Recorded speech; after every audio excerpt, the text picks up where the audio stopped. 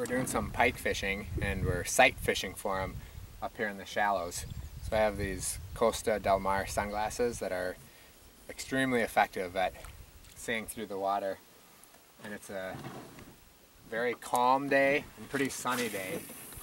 So you can really see well with these sunglasses. And earlier I saw five pike all swim towards my lure. And I've also seen some huge smallmouth bass swimming right alongside these pike. Now, you think pike fishing and you usually think spoons and spinner baits and jerk baits, but on a hot, calm day like this, our most effective approach has actually been more of a finesse approach, and that's pitching plastics to them. And it's really fun just letting the plastic sit or slowly jigging it, and you see these pike just swim up and pick the bait up off the bottom. And that's been how we've been catching the most of them. The other day we caught 165 pike, tons of which we saw strike, many of which hit right by the boat. We'll see if we can get one on this cast here.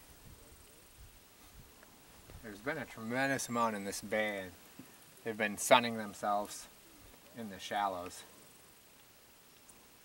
This is what this is what I've been having the most luck with.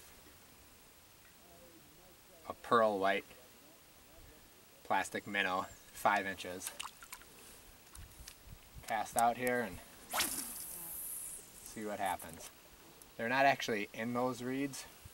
There's some weeds just out 20, 30 yards from the reeds themselves.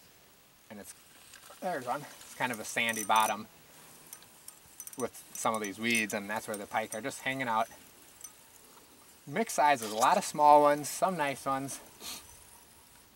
And you can see them, especially with these sunglasses, from so far away. Now for the first time, some clouds have moved over. So the water's not quite as clear, but that's again when these sunglasses help out. But it's really fun. And as you can see on that one, I mean, it didn't hit very hard. In fact, a lot of them, you don't even feel anything. You just see your line moving to the side. Or if you're within range, you see them. That's how I like to release them too. Keeps your hands clean. And sometimes you just see them pick up your bait and you don't feel anything, but you set the hook. So we'll keep fishing and hopefully have some more luck.